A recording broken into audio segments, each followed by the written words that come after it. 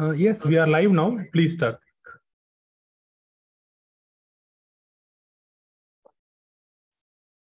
Thank you. And so, so good evening to everyone. And, and uh, thanks for joining on a, a, Thursday evening. So, so we are a group from Walmart. Uh, thank you, IIT Madras, for inviting us and, and, and uh, having us do this, this uh, session on, on uh, retail. So my name is Ravi Balasubramanian. I lead uh, customer data science in, in um, Walmart Global Tech India. So we have a, a good, good group of, of panelists. Uh, and, and we are also touching a, a, very, very interesting topic. I think most of you are, are familiar with, with retail because of the way you actually shop.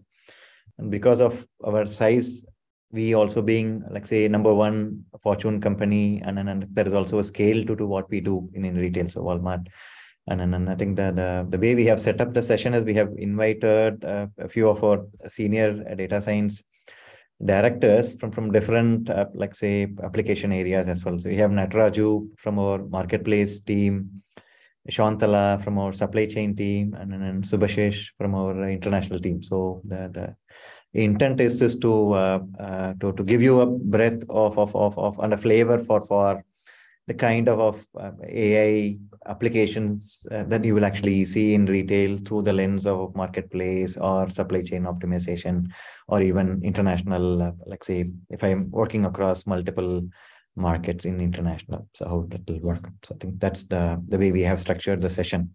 So welcome, Shantala, welcome, Natu, uh, welcome, uh, Subhashish. Thank you. Thank you. Thank you.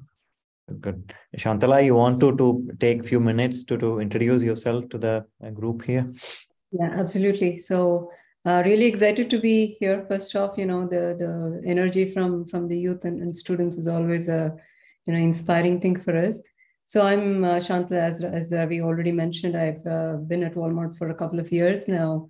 Uh, and I've been a technologist for far longer, about two decades or more in this field uh, working on a wide spectrum of industries. Uh, quite spent quite a significant part of my um, uh, career in telecommunications, building real-time uh, distributed event-driven systems. Um, made the foray into data science uh, latter part of my career, and uh, you know built AI and ML solutions for the finance industry and automotive. And at Walmart, I'm, I'm heading a couple of teams. We're doing a lot of um, uh, supply chain related uh, problem solving primarily in, in two key areas right? One is you know you build uh, solutions that make use of science to improve existing solutions or you're doing some greenfield innovative solutions that are that are scientific that are based on science. So um, never a dull day. Um, you know it's it's been phenomenally exciting i would say. So any students out there you feel like you know you, you have boring moments or dull moments come talk to walmart Wonderful. Thank you very much, Shantala. It's a great introduction. Natu, you want to go next? Yes, uh, thanks, Ravi. Uh, thanks again, IITM, uh, for the opportunity. Uh, looking forward to, you know, uh, answer some of the questions uh, maybe some of the students have. a little bit about myself. I've also been in Walmart for like a little more than a year and a half in Walmart, uh, my main role is to uh, help sellers grow their business. Uh, I think most of you are familiar with marketplace. Uh, you know, uh, companies like Flipkart, uh, which is there in India, which do this marketplace business, right? And what I'm doing in my day-to-day life is to use data science and AI-based technology to give some kind of a decision assist uh, tools to the sellers so that they know which products they should sell, which products are customers looking for, and which products they have to market. So everything to do with how sellers can grow their business. Uh, in addition to it, I also saw a lot of problems uh, with respect to how do we reduce operation costs for running marketplace. Uh, maybe I can talk about a couple of examples uh, uh, later. Before joining Walmart, I was more in the auto industry. so I was with Bosch, where I was solving more problems around autonomous driving. I think uh, most of you must be familiar with autonomous driving. It's still not a reality, but uh, uh, know, a lot of exciting stuff uh, in my past and uh, as well. I'm a mechanical engineer uh, by, let's say, education. so a long time back, I did thesis more in terms of solving partial differential equations using discontinuous Galerkin methods. So I kind of transitioned from, let's say, those kind of world to uncertainty and statistics, and then now you know we call AI, uh, right? So that's a little bit of uh, my background, and looking forward to the rest of the uh, hour. There is one more PDE guy in the mix. Good. Uh, thank you, Natu. Good, good. Subhashish, so you want to go next and introduce yourself? Sure, sure, Ravi. Uh, well, thanks IITM for, of course, having us over and uh, offering us this opportunity to share our perspectives. Um, so start a bit about uh, where I come from. Uh, my first brush with data sciences was maybe 17 and a half years back. Um, I was actually studying economics. I did my master's in economics, and uh, I remember dabbling in econometrics, which was uh, which is really the application of statistics into economic theory. And back in the day, we were trying to understand, you know, what are the key determinants of uh, consumer spending behavior? Was it income? Is it certain other geodemographic factors and so? And um, starting off, uh, we used to use, of course, regression models. Those still remain the workhorse techniques that we use in data science. Um, one classic misadventure I remember is trying to predict stock prices using time series forecasting methods. Never worked out, burned my hands, but I learned lessons, good lessons out there. Um, 15 plus years in the data science industry. Um, I started doing data sciences in the personal computing space, moved on to doing data sciences in marketing and advertising, had a short stint as a statistician in reinsurance. And then I found my home at Walmart. Um, been with Walmart for seven and a half years now. Um, I am part of the Walmart International Organization, a director of data sciences in global tech. And um, my team works across a diverse set of international markets. Uh, Ravi was briefly alluding to it. So we really cater for customer needs across markets like Canada, Mexico, Chile, South Africa, China, etc. And um, we work across the spectrum of retail, right? From uh, how we source goods, so how we use the supply chain, to how we create enriching customer experiences, and so forth. Uh, my team creates machine learning solutions for across all of these spectrums um, you know, in a nutshell, I'd say I, I was an econometrician who kind of evolved into a statistician, who evolved to a data scientist, and now I'm more of a evangelist for data science. So, and the evolution, I suppose, will go on. But very happy to be part of this panel and looking forward to contribute my two cents. Back to you, Ravi. Wonderful. Thank you very much, Subhashish. I think though back to, to at least the, the, the larger student group is you at least you are going to actually interact with with a group of people with with diverse backgrounds plus also working on on uh, different application areas as well. I think because whenever I hear market, at least in Chennai, people will always relate to that Koyambedu market, going there and trying to actually check the vegetables and and, and trying to choose between buying tomatoes from the guy on the left or guy on the right or whatever, right? But when you're trying to do online market, it, it's actually different. How do you search for things? How do you enable things? How do you, when somebody comes and search? So, so Natu, I know in in marketplace, can you list like say some some problem area or some some an application area that we are trying to to help sellers with with uh, like say a data science solutions and, and give people a feel for for a problem and and, and expand on it. Sure. So let's start uh, let me start with uh, customers. I think uh, as all of us are quite familiar that you know uh, the one thing which makes us uh, choose from one company to the other is speed of delivery right? I was just talking uh, to my daughter the other day, and uh, she wanted to buy a digital clock. And then uh, I was looking for it, and uh, you know, one of the apps said three days, and the other said two days. And she's like, "I want to go with this app because you know it's like delivering in two days." So one of the really big challenge uh, for marketplace is how do you predict the time it takes for delivering an item, right? Because traditionally, if you look at Walmart, we own the inventory of a particular product, and it's very easy uh, because you know we control the logistics and the flow to a large extent, and you can predict with certain certainty when a particular order will be delivered. But with marketplace, we're kind of opening uh, the platform to lots of different type of sellers. So how do you predict when a particular seller will deliver a particular item to a particular geographic region uh, across vast country, right? Let's say US. So that's a fairly, uh, you know, uh, interesting and a difficult problem. And uh, we try to solve it uh, by applying, uh, you know, machine learning and data science based methods.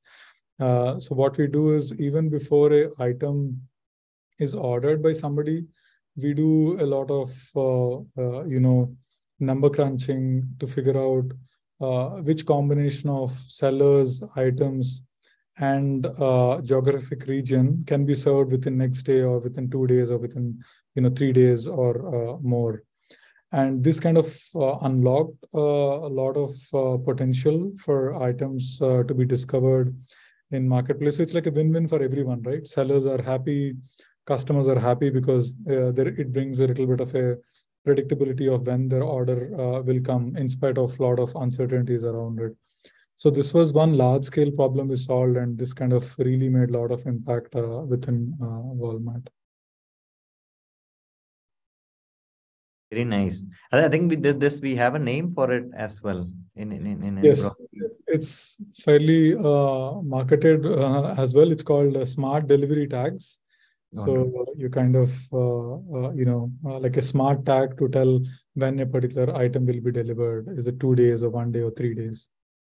Very nice very nice. So good good good. I think this is relatable to, to everyone the example you gave. In, in, in i think the the way e-commerce kind of got defined is it's one is of course free shipping and then the, the speed of delivery. And and, and and and and now we are also seeing apps I think people have have uh, we have not tried it at that 15 minute delivery and within 30 minute delivery. So, so you're also going to the extreme mile of like say not walking to my gate as well and, and, and having someone come to our home from the, the local kirana as well. But good, good. Thank you, Nattu. Subhashish, I think the, I always get uh, very, very fancied with, with Subhashish because of the diverse variety of applications he does. Because one day he talks uh, in French, the next day in Spanish, the third day in Portuguese, and and, and because we have stores across each of these countries, and and and and and, and the Walmart philosophy is we have EDLP, what we everyday low prices. It is across wherever we, we sell, right?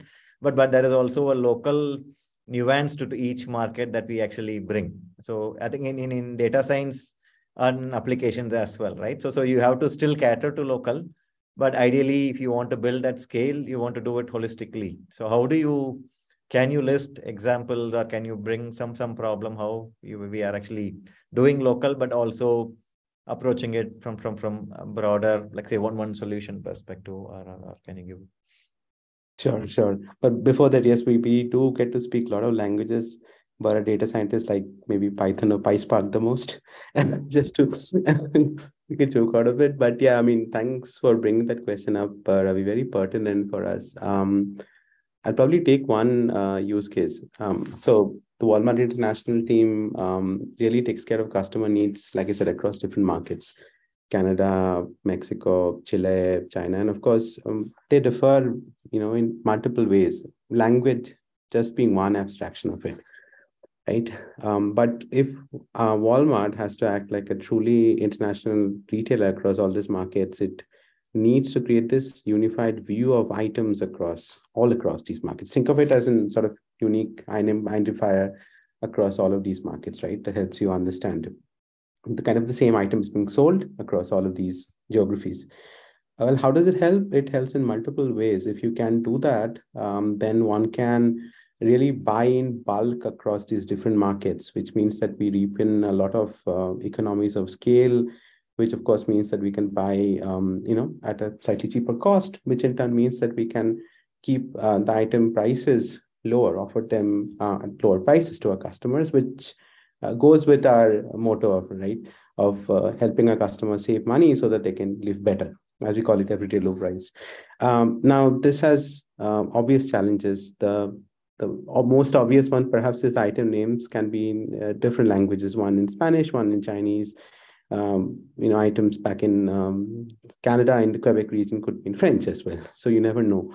That's just one. Um, item names can be abbreviated. They can be misspelled. There can be a whole lot of item categories that you need to deal with. And uh, all these makes it very difficult for um, mere human intervention or human experts to solve this problem. We, this needs to happen across scale, across all of these markets, right? So here's where uh, you know machine learning sort of comes in to save the day.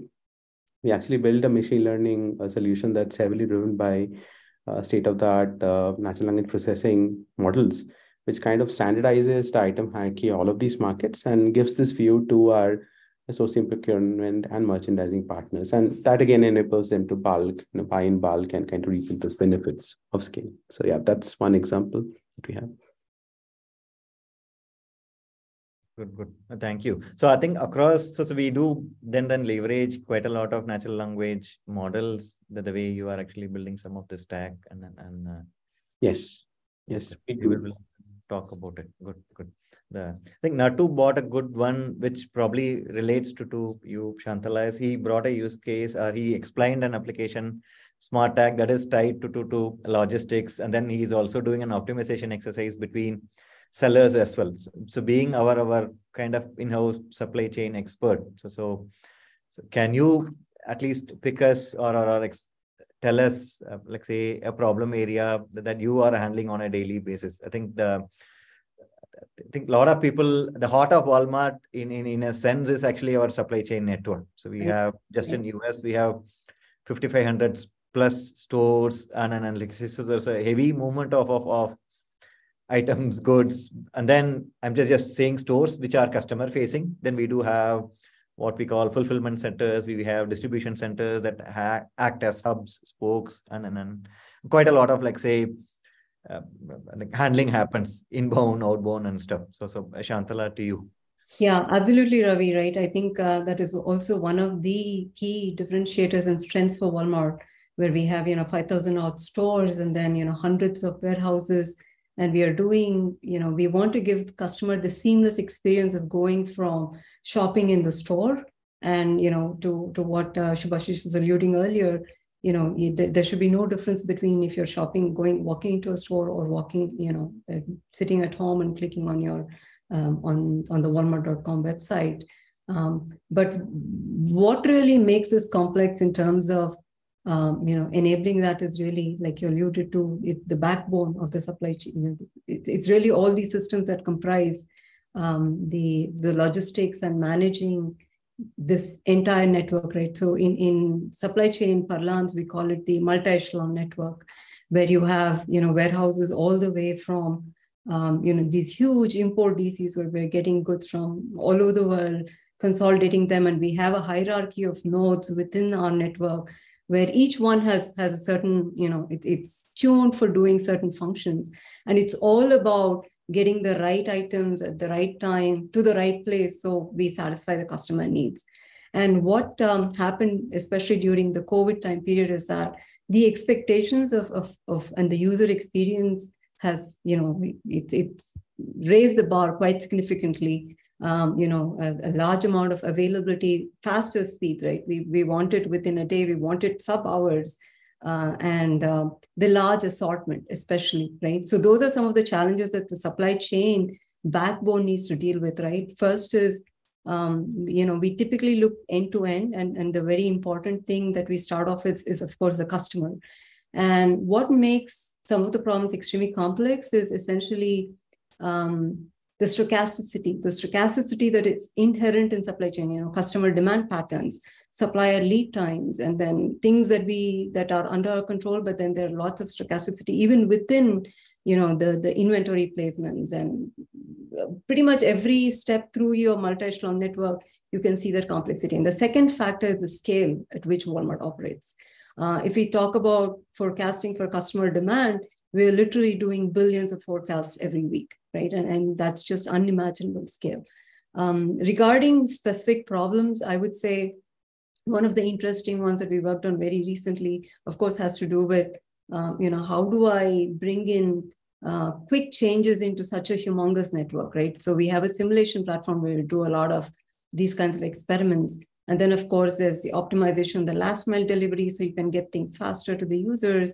And at, at a, uh, I would say at, at a much more futuristic scale, you know, what should my network look like, right? What, what does the future bring to us? How do we evolve this network where it's, it's a combination of optimization solutions and traditional, uh, you know, machine learning approaches. Wonderful.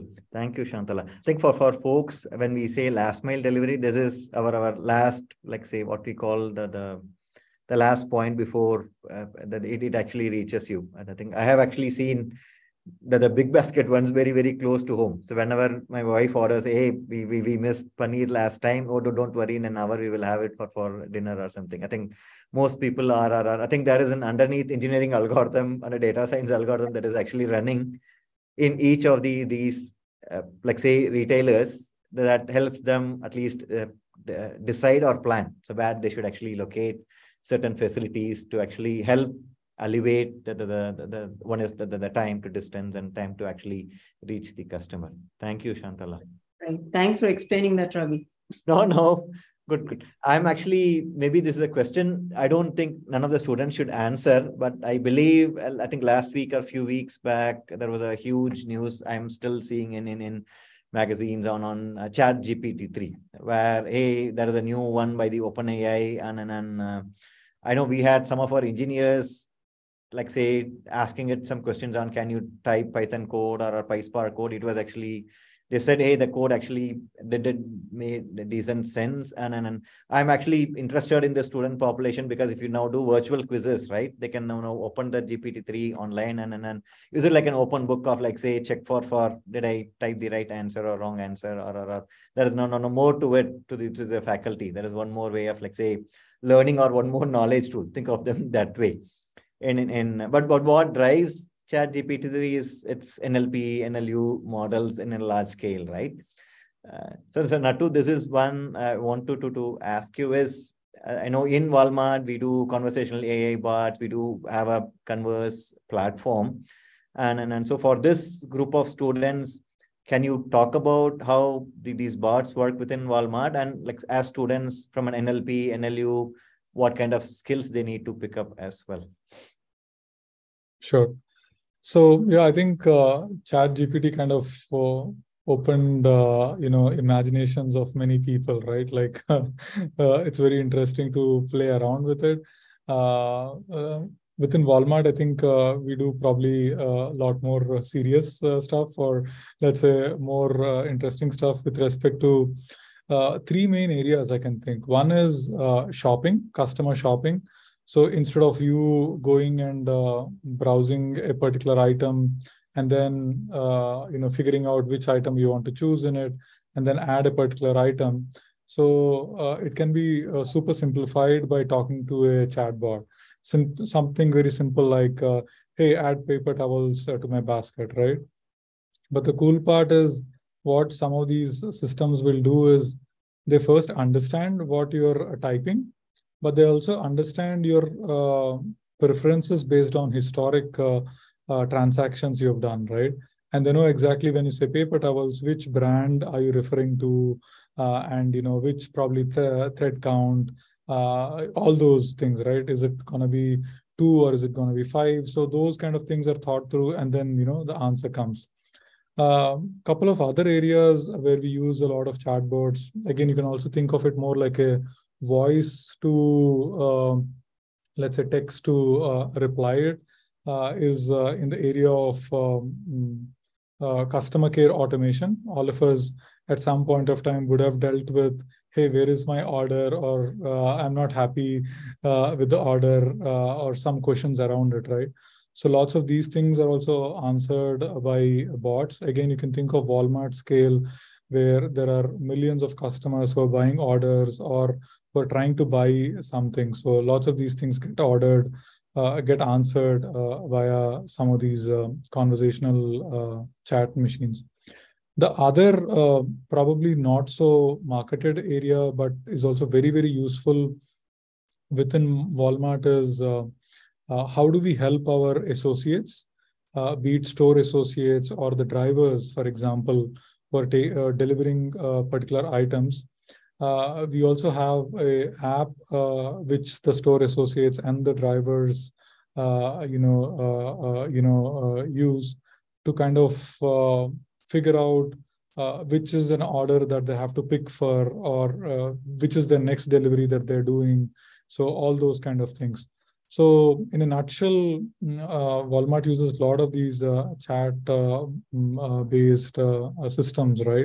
uh, for customers for internal let's say associates uh, store associates and uh, so that you know it, the experience for all these stakeholders become very very smooth and makes the life better. Yeah. Good, good. Thank you, Nattu. So all of this is for, I think, if, if, if, at least if there are students listening in, these are actually we what we listed are actually application areas, but the, the stack that is actually driving is, is if you are actually doing classes, courses on natural language processing, NLU, and then like say uh, doing like say uh, text mining related stuff, just to to to add a, a, a an extra uh, detail. Yeah. Thank you, Nattu.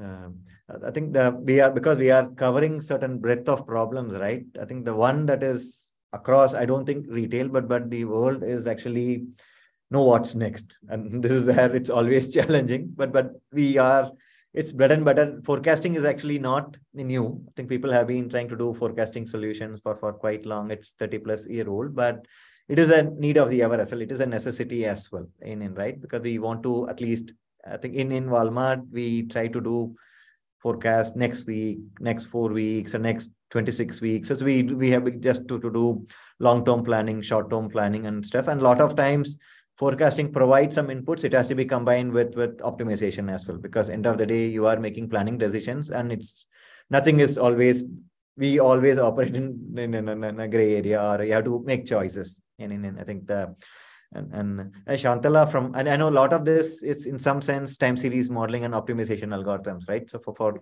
right. students, can you then touch on this area of forecasting and optimization and then expand in, in the way how we actually do certain things and, and what kind of skills they can kind of like say pick up as they kind of like say yeah yeah absolutely absolutely so, uh, you know, forecasting, like you said, especially, you know, customer demand forecasting is, is the bread and butter for pretty much any business out there that, that deals with customers.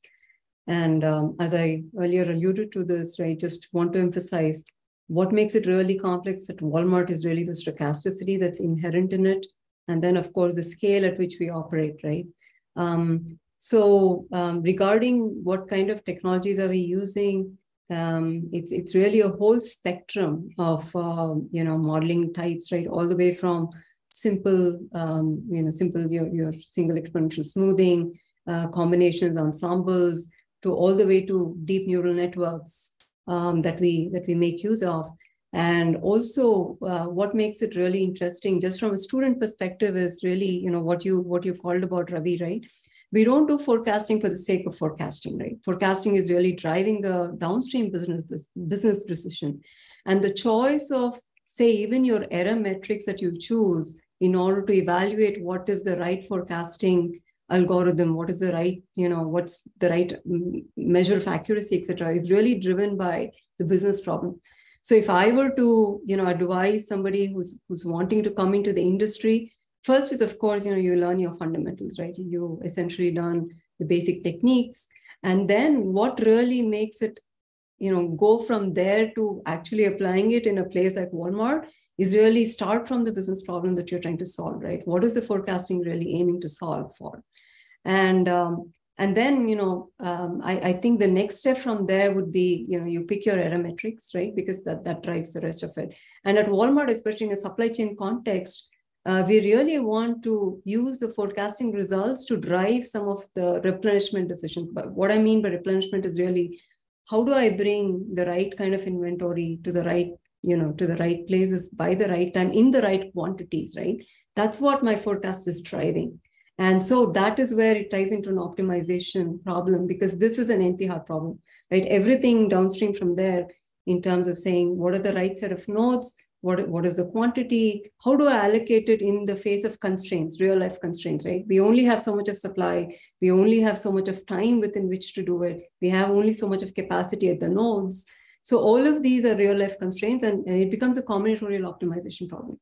Um, so that's that part of it. So you, you have to look at the forecasting in its entirety in terms of what problem I'm solving. It's not just a point forecast. The second thing which we have learned over the past two years, given you know the, the larger macroeconomic conditions in the world, is uncertainty, right? Um, and so we are now moving from to a, to a world where we are no longer sufficient to just have one value coming from a forecast, which is typically your average value, right? And you know, by the law of averages, making decisions on that is no longer sufficient in this uncertain world. So now we're looking at probabilistic forecasting you know adding an uncertainty to it and then of course that that in that segues into okay now i do have a probabilistic forecast how does my business adapt my downstream systems adapt to using this kind of an uncertainty um, and i would say in terms of going beyond what you learn in school it's thinking about a hierarchy of forecast right um, so sometimes we want to make decisions at the at the entire market level, US level, or sometimes we want to make it at the state level. Sometimes we want to make decisions at the product, you know, entire set of products. So it's about, you know, doing hierarchical forecast and then, you know, coherent forecast. You know, once I do this hierarchy, how do I aggregate, disaggregate, right? So these are all some of the things that you apply in the industry. You might not necessarily learn in school. So my suggestion to folks who are interested in pursuing this as a career option would be go, go out to, you know, say something like Kaggle, where companies are releasing data. And as an example, Walmart did it, you know, there's a series of competitions called M, M series. Last year, uh, the last one, which was M5, uh, Walmart, in fact, shared uh, its its actual store data, right, for, for a whole set of products across a whole set of stores. So that would be a good starting point for you to see because you see the real real real world data is, is very messy uh, and you you're not going to see a time series where every day or week you actually have a value right you're going to see something like you know i have i sold a quantity five five units of something and then over the next six weeks it's zero zero zero zero zero right? So how do you build a model that can actually work with these kinds of series? Because this is what you see in the real world. Uh, and of course there are there are you know lots of uh, i would say combination techniques are the key to solving something like this right so Ravi, I think I got a bit overexcited and, good. No, this is very good. No, you covered quite a lot of things that is very, very relevant and applicable to, to, to students. And and I think you also brought in the end, right? The the way when I look at the time series, I don't see continuous orders. I don't see me going and buying. And I think this is where what happens is we as customers kind of like say we also play a role because when I choose to buy when I go to buy, do I buy only once a week or, or do I buy like say every day and, and, and, and we are again also slowly moving into what we call traditional, we walk into a store and buy versus the, the what we call the omni or, or order through online and order through and and and, and most retailers are, are are also now now slowly evolving into a uh, we are we have always been a customer centric company. Now through through because of e-commerce and online that that focus is also it's like a like no no many many it's like a bright light. So this is where we now now slowly get into personalization recommendation. Can i incentivize people or can i now kind of like say nudge people to actually buy certain things? And, and and so there are recommendation algorithms. When i go to a site i get a list of like say what do i want to the list of preferable things or recommended products and and and, and, and so so underneath this also there are data science algorithms that is powering it. Because I think if you go to Flipkart and then search for whether it is just a battery or a toothpaste or, or, or something more fancy, right? You, you you do get a list of, of like say across price ranges, across brands, and, and then based on your prior shopping preferences or based on certain other attributes. So I think I want to to I think and uh, Subhashish was mentioning in his I think part of his career, I think he has worked on all the different data science areas we are talking today and, and, and he also mentioned personalization as actually oh, one such area. So, so, so Subhashish, you want to maybe uh, talk on like say recommendation algorithms or, or like say underneath like like an e-commerce website how personalization will be do and then just a flavor or hint of it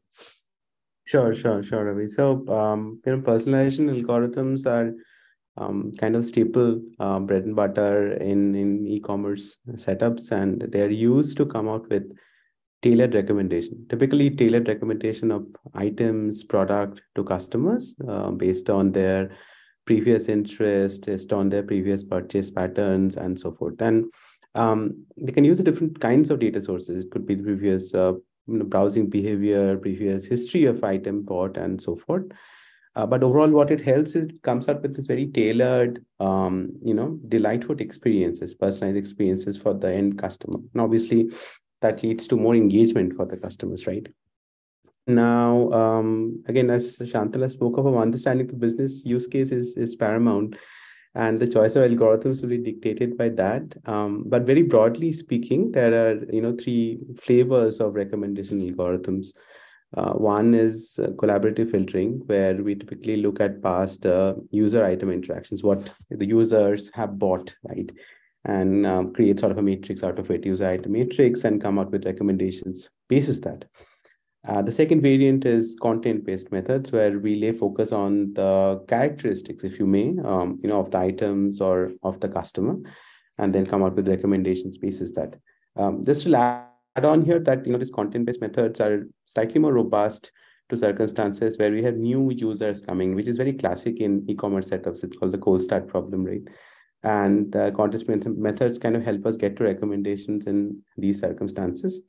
Um, now, then there's a third variant which kind of combines the best of both these worlds, and they are called hybrid methods right? And these are much in vogue now. I mean, um, they range from simple methods, um, which kind of ensemble both to at the far end of the spectrum using deep learning, deep neural networks based solutions. Um, depends again on the user needs, right? Uh, the way that we architect the solutions. Uh, as to um, you know stuff that students can pick up here, of course, knowing the fundamentals of these three variants would be very helpful. Um, as it is the case with many other machine learning solutions, uh, much of um, the workings of these are driven by linear algebra, right? So getting a good hang of things like matrix methods, matrix factorization techniques, and so forth will uh, put everybody in good stead to understand what's really happening under the hood, and you can really play around with the solution that way.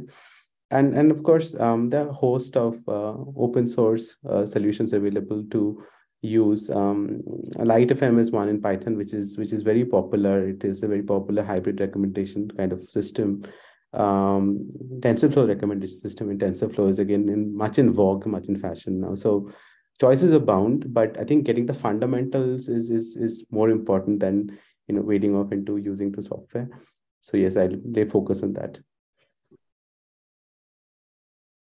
Thank you, Subhashish. No, it's wonderful. I think you touched upon, I think so for students, one is it's, yes, know your math well, because when in data science, yes, it, there is there is a lot of involvement of statistics and, and maths. And, and, and I think the linear algebra and numerical analysis, at least related to, to, to the way how, how algorithms are set up, we, we solve them. So gradient boosting and all, all gradient descent and yeah, i think they are they they do apply if you want to go underneath and and, and look at how actually you are doing um, problem setup that is actually being solved right so it, it is good to to to to if you have more time and and, and it not just the programming but there is the way that the, the, the problem is structured when when you look at the problem structure some of this underlying math will will kind of like say will will come out as well and and, and i think that's where shantala brought up uh, Kaggle, where you do have data sets now publicly available across different problem areas. And, and, and, and it's not just solving the problem area, but also unpacking the problem area and the kind of like say algorithm you choose to solve it. So that will will will help as well. I think with, with this, I don't know we are close to 40 minutes into the session. We can move into to uh, Q&A and then uh, to take questions from, from the, uh, the group as well. There is already, I see, a couple of questions there. Uh, so maybe we can uh, start with you, uh, Shantala. There is one one on on on supply chain. They have actually listed for supply chain based problems. Um, so are you reading it out, Ravi? Yeah. I am I'm reading it out. I feel bad my glasses. I will show my age now. Me too. In in in uh, the I think that the question is like say, are you using traditional algorithms, uh, stochastic otherwise, or we are also now slowly bringing in reinforcement learning uh, based algorithm uh, agents as well? Yeah, uh, I mean, absolutely a timely question, right? So I would say um, uh, we are exploring all of these. We do use traditional algorithms. Um, the the some of the issues that we face with traditional algorithms is is you know the, the exact solutions are where you start off with the right numerical optimization uh, in the optimization space.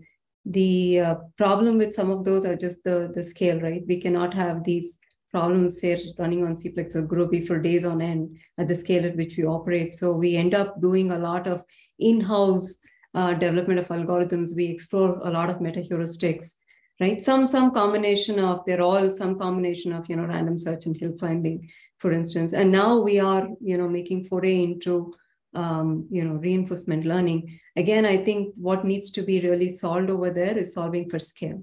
Solving for scale and then dealing with the the stochasticity to to a large extent. But it absolutely you know we are definitely looking at reinforcement learning as one of those things that that's a next step for walmart because it is you know you know classic sequential decision making. And a lot of things that we do in the supply chain backbone is really about doing the right decisions taking it in the rightly manner.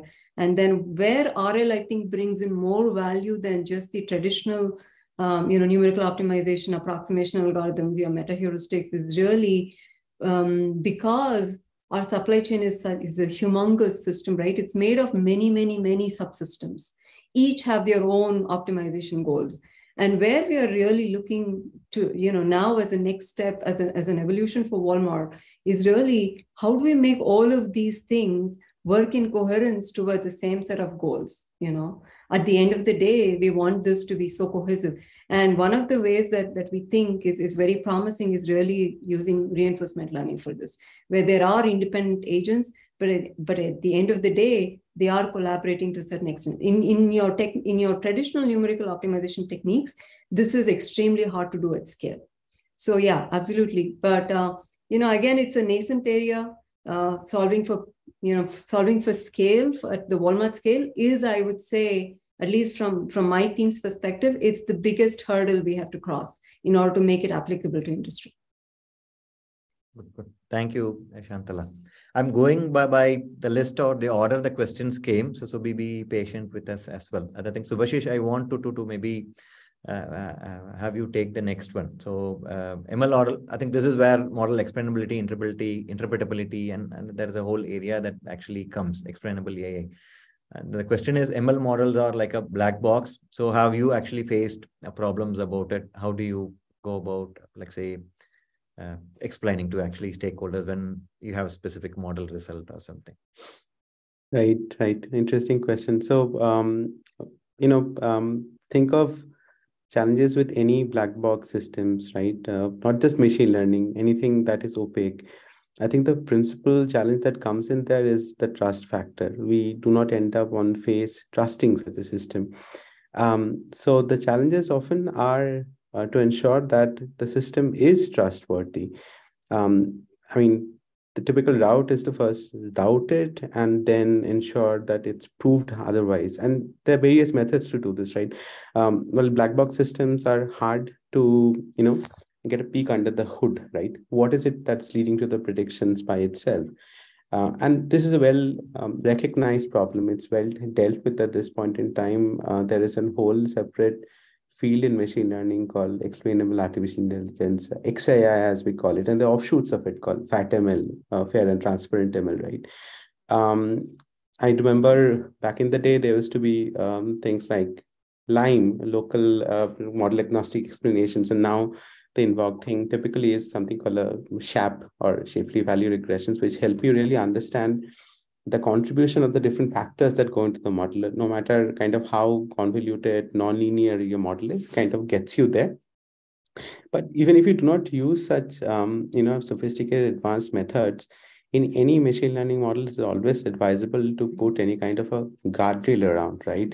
Poke around the model, stress test the model, and this predates black box models. Back in the day, when even when simple linear regressions were the order of the day, uh, the idea was stress testing any models and trying to see that do you um, get to see the model not behave as expected? Are the results counterintuitive? There's no um, other resolution to this than really understanding really the core of the business and um, understanding what the business users would also expect to see as the results, right? And if you see that the results are, um, well, doesn't add about, um, they do not make sense, then you need to go on and revisit it, right? And again, build on guardrails around it. So um, that's what I would say. I mean, it, it's always well advised that build guardrails around any of your models, black box or white box or not, and ensure you put that in place before it's get moved on to production. Good, good. Thank you, Subhashish. We will maybe jump to a couple of student questions and then go back to, to I see a couple of technical ones as well. The I think Natu, I uh, Ravi, that, I, I, was just uh, thinking there is a question on the customer segmentation. Maybe you should take that. I will take that one. Yeah. The, the, there are at least three questions I see that are related. Like say skills to get hands-on as a first-time data scientist or as a fresher uh, to work in Walmart, what typical data science, MLA skill sets do you expect from a fresher? And there is also a question, hey, do you only look for people with deep learning or are, folks with NLP, NLU or are, traditional ML uh, knowledge background? Is it sufficient? So these are, I think, interrelated questions. So can you maybe answer to, to the yeah. student group here? Yeah. So maybe on the skills part, uh, I would boil it down to um, three things. One, I think uh, most of the panelists uh, mentioned it multiple times, get your math right. So it's not necessary that you understand all the algorithms in full depth, but make sure you at least uh, have a set of algorithms where you know exactly what is going behind fit dot model, right? Because a lot of times this uh, there is an abstraction in the code which uh, you know you have few parameters and then you know it just does the magic, right? but uh, please make sure you understand what are the nuances, what are the hypotheses uh, behind, uh, you know, uh, for the model to work. So I would say the math uh, as a overall uh, umbrella, please understand that well. The second part is, again, this is very big difference compared to academics to real world. I think Shantala alluded to this multiple times is about the scale. You know, uh, we might uh, you know get away with working with uh, small problems solving it on a probably personal computer uh, you know in the school right? But when you come to uh, you know any enterprise forget uh, walmart the data will just not fit in your single computer right? So th- there comes understanding a little bit more programmatic skills be it python be it spark. How do you uh, learn some of these things, master some of these uh, techniques uh, would really help. So, you know, that's the program program dimension. The third dimension, again, this kind of changes all the time is the domain knowledge. So a lot of times what happens, you get a table, right? Uh, and then, you know, there are columns and uh, it's quite, uh, you know, exciting or quite tempting to just forget about the name of the column and just start uh, you know playing with the data right? Um, but what is important is again to understand the business problem and see if the whatever data you have is kind of uh, you know uh, will help solve the business problem right? So the third dimension i would say is understand the domain well. So i can just give you my example. When i joined walmart i had no retail experience apart from being a retail customer right? So i was always a customer but you know i didn't have so much of a domain knowledge. So i had to spend a lot of time to understand the nuances understand the terminologies understand you know uh, how uh, to read the data to understand uh, you know the nuances uh, of it. So broadly i would say these three skills uh, would really mm, you know make you like a superstar. If you can master all these three equally well the math part the programmatic part and then the domain knowledge part uh, the question around, uh, you know, do I need to understand, uh, do I need to be, uh, be expert at NLP, image-based deep learning, reinforcement learning? If you can do, great. but if you can't, don't be overwhelmed, I would say, because these are more like various tools to solve a problem, right? I think it's more important to focus on understand the business problem, convert it into a mathematical problem, and then you know tools will uh, come uh, after that. Knowing it will be helpful. Uh, I think Shantala also said in the uh, in the starting. Uh, try your hands at Kaggle, right? I think that's a very safe zone. You won't lose at all. And the good part is a lot of times you also get a lot of kernels, which could be like a starting point for you to run your own experiments. So uh, try that. These days, uh, what I also personally do sometimes is uh, read a lot of papers, but papers come with code, right? Like papers with code. So this also kind of reduces the gap between you having like a PhD level knowledge to applying it in real world. So take some of this, uh, you know, uh, code, uh, try it around with the real world data, and that will really set you up for success in whatever uh, you do so hope some of these suggestions will really help you in in your own uh, data science and ai journey. Good good. Thank you natu. It's wonderful. I think you covered all the parts nicely. So i think for maybe this will come in every fresher's mind is hey you are asking me to learn a domain. So what we mean by it is it's mainly be, be, be curious in, in, in because as a customer or, or, or as you actually look at things that are either because as, as you are a customer, as you are actually going and buying things, right? The, curiosity part is how is underneath that, that engine is actually driving or running. That's when the curiosity will take you to actually play with Kaggle data sets, play with touch the, the, the data that is actually being shared by, by some of the real companies as well. And, and, and I think that the, anyway, just to, to, to add a one, one, one note there.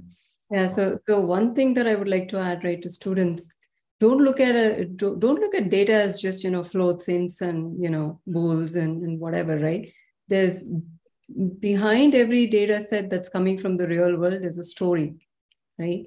And what you really need to do is try to catch you know unravel the thread you know catch on to that story. Because like natu said i had a very similar experience. Came into retail didn't know anything. You just look at data as just numbers. Really you you will build the wrong thing right? Try to try to get to the story that's behind the data. Let me tell you every data set has a story behind it. And and that's key to solving real world problems yes yes no equally applies i'm not a retail guy i also probably caught on it three two three years back i was actually an industrial manufacturing guy doing iot stuff so i think it's uh, yeah it's, it's very very fair and, and uh, I think there are.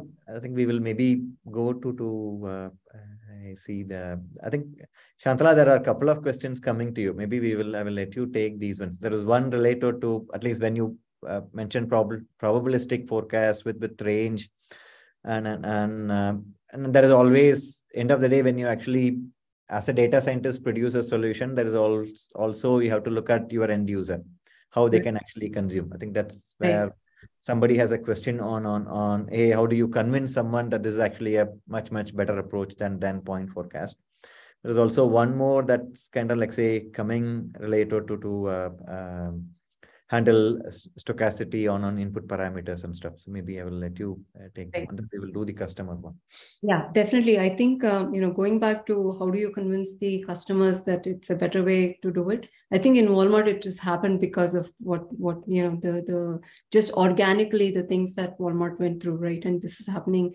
I mean, we had started on this journey you know, even before all of the pandemic and, and the larger macroeconomic uncertainty that we've been in for the last few years, we had already started on a journey, but now it has just given so much more, I would say, you know, tying it back to reality. And so even folks that don't necessarily think about, you know, stochasticity as such, they they understand, you know, where things are not sufficient anymore, point forecasts are not sufficient anymore, that they're just average values.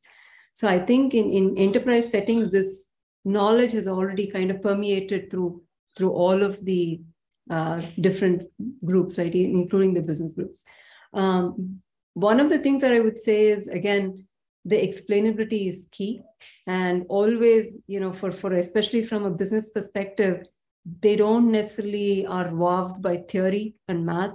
They really just want to see the results, right? So what we do, especially in, in, in one of the things that my team personally builds is, is one of the platforms where in fact you can look at you know you you run the you take the same data sets you run it through an existing solution you get the results right? This is what everybody understands. You know how much does it cost me to actually deliver this packet from you know this particular store to a user? And now you take this other thing that you think is is, is all full of you know science and math based and doing all the right things theoretically you implement that you run it again the same thing you should show something better right? In terms of your business metrics that's one way of convincing you know without using any of the the fancy language about stochasticity or uncertainty or confidence intervals prediction intervals. Just get this to work and show that it's better in terms of things that matter to the business. All right? So that's that's one part. Um, regarding you know how technically we are implementing uh, say for instance how are we handling stochasticity the input uh, is essentially a lot of um, i would say um, you know building uncertainty sets building robust optimization on top of the uncertainty sets. Um, again you know these are hard to solve at scale. We also do a lot of hybrid kind of modeling right? Sometimes it's it's dealt with in uh, traditional machine learning ways. We're also looking at a lot of advanced dnns and within optimization space it's using robust optimization. Wonderful. Thank you there are questions on at least career whether it is internships or, or, jobs in walmart i think uh, uh, we would ask you to go to walmart careers i think global tech india Walmart careers. And, and, and I think we do ask for, for I think occasionally, or I think there, there is ask for interns. There is also open roles that is actually being published. So you should be able to, to, to, to apply directly there in our, our website, whether it is the internships or, or, or jobs as well. I think that that's the, I think that's the, the perfect landing page. I think we, we do all our jobs are actually advertised on our, our uh, walmart.com. So Global Tech India. Uh, and, and, and I know there is a question on customer segmentation. This is my area. We are also approaching to the hour. We will maybe uh, get a few more questions and then we will kind of like say close the session. And, and, and um, um, uh, let, let me read. Uh, uh, there are a few different ways we can actually do customer segmentation. So the simple one we, we typically start with is what we call an RFM based segmentation, what we call like say recency, frequency, and monetary. So how recent does a customer shop with you how frequently do they shop with us and then how much they spend every time they, they they shop so so based on it that is a way we could kind of like say segment our customers into two, two different like say buckets. And that kind of like say helps us capture the the, the in some sense i could say a loyalty of them to us. In, in like if somebody is shopping on a weekly basis and then spending close to to, to 500 rupees versus somebody shops on on every three weeks shops 100 rupees versus somebody shop three months back or six months back. So that that is one way to kind of like say do segmentations and there is also there is one flavor of it based on transaction data there is also you can actually expand and then look at the the, the brands they typically go on buy or, or, or the, the price range they actually go on and buy, buy items or products within a certain category. So, so we could also do customer segmentations based on the, their, their price preference ranges or, or, or brand affinity and stuff. And, and, and we do do segmentations typically in a rolling period. We, we, we start with certain period in time. The reason we do rolling period is which it answers that the next question is our pattern changes kind of like say I used to buy maybe some brand of shoe when I was a grad student versus when I got my first job. I migrated to a different brand of shoe because you maybe made slightly more money or or, or, or we were single bachelors and then you recently got married or, or you were a student, you got a job. So all your pricing decisions, shopping patterns actually change with respect to time because there is life changes happen. So introduction to family or all of that, right? So so if we know the customer, we are looking at the, their purchase patterns, purchase behaviors and changes. And, and, and we do have a way to, to, to, to, to, to look at, like say, uh, looking at the changes of their behavior in time and, and, and see how we can sometimes incentivize them to actually looking at this purchase pattern to actually move up the, the, the, loyalty scale or, who move, move up how much they, they spend with us and stuff. So, so that's how broadly I'm just in a nugget sharing details on on customer segmentations. I know we are running over time. So we will pick, and there was a question on, on AI research, competency and stuff. So maybe Subhashish, I think in this lot, he has the longest tenure and then he may be a good guy to, to, to, to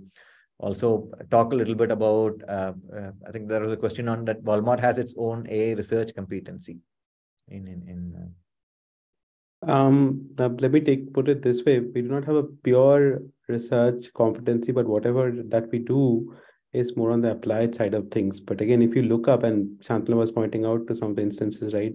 Many of this work that we do are greenfield engagements. They're they're new areas which are almost begging for a solution, right? So innovation is also part and parcel of our DNA, right? So if you look around, you'd find us uh, represented at conferences. We often file for patents for the work we do. So in a way, um, you know, research innovation is is not segregated to just a select set pool of people. It's it's across. It's there internally across all of the teams that we work at, right? In global tech, that's the way that uh, we do things. So that is an econ buddy student. He is asking you, how how did your your uh, economics background help you in in your uh, career? In in. Okay. Uh, well, good to good to have a fellow uh, student uh, it helped me in, in multiple ways, I suppose. Um, you know, one is, um, eh, well, studying economics gives you that strong fundamentals in, in statistics. That's one of the things that comes with it, right? Um, it lays the groundwork for some of the more fundamental um, algorithms that we use on a day-to-day basis. Um, well, regression, I spoke of it. There's a whole bunch of other things that I can speak of as well but but you know more importantly what i felt is um, it kind of gives you the knack of asking uh, the why question why are we getting to observe a certain pattern in the data um, it makes a bit of the you know detective of sort a sherlock holmes if you, if you will who goes back and asks those questions interrogates the data and comes out hopefully with a good story around it um, um, and again, um, Shantala put it really, really well that behind every number that we see is probably uh, a story, right? And uh, it's kind of begging to be told. We just need to go in, deal deep inside it, and come out and unearth it. So I think um, you know, being an econ graduate of helped me there to ask those right questions to unearth that story out of many of this interesting work that we do? And of course articulating this to the stakeholders. So yeah i think that's the way that i would say it helped me a lot wonderful thank you i think this is maybe i will pick up this question and then maybe we'll open it up to whoever wants to answer as well i think the this is a i think that this falls right in and on on on okay i'm actually building i think that i'm reading the question yeah, I work on a biomedical device using AML and, and, and deep learning for, for radiology. So, so I think they are uh, detecting certain uh, things. And, and, and we have an algorithm based logic. And, and, and how do you no, no, no, drive this is machine assisted or machine based, like say detection versus like say uh, the doctor providing a review? In, in, I think this is where the, the nuance of, of trustworthiness or, or, or, of an A algorithm, or, or, I think it's that is one, or, or even when we all talk about confusion matrix and accuracy, this is actually a nice scenario that plays very well as well in terms of false positives, true negatives, and that's algorithm driven versus actually a doctor based diagnosis, right? So it's not an easy question to answer. So I will maybe open it up to, to, to uh, one of the folks here to actually uh, uh, pick up. So I, um, I can add a short perspective to this, right? Um, I would say, I mean, even even though supply chain seems far removed from, say, doing you know life or death decisions, such as in the medical field where it, the stakes are much higher, um, we we do face this issue, right? So one of the things that that we do practically is um, when when you need to adopt something that is that greenfield and innovative and there's a lot of human element comes into the picture um, you build a solution such that it aids the human in decision in the initial phases right and you then you gain the trust of the person who's using that tool. Maybe in this case it's a doctor or a nurse practitioner whatever right? Um, so there, there needs to be that synergistic synergistic start and then eventually you you you the system the the machine also gets better because of the synergy right? Because you know there's the, although you know ml has been fantastic we've done you know leaps and bounds progress within the last decade there's still a long way to go in some of these areas right and so i think this is a strategy even we, we adopted even at walmart right? They they're always don't don't discount human intelligence. You know bring about that synergy because there, there are lots of things that that machines are not good at. And the, the way you gain the trust and confidence is making them work together. You know where is it where is the best use of the machine right? It's it's in these fields especially it's aiding the human. It's it's just helping them in things, doing the repetitive things, you know, crunching through, you know, trillions, terabytes of data, etc. And we do this at Walmart where we do allow the humans to override things that are done by the machine. Natu, you, you had to say something, please. Yeah, so I can just add, uh, I totally understand what you're saying, um, especially from my past experience.